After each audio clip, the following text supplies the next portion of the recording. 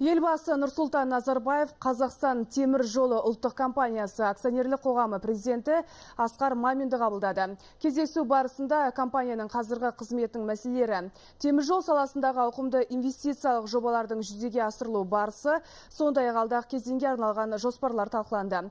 Елбасы елдің экономикалық тұрғыдан даму үшін Қазақстанның көліктік логистикалық инфрақұрылым мен транзиттік әлеуетін одан әрі ұлғайтудың маңыздылығын айтып, бірқатар нақты тапсырмалар берді.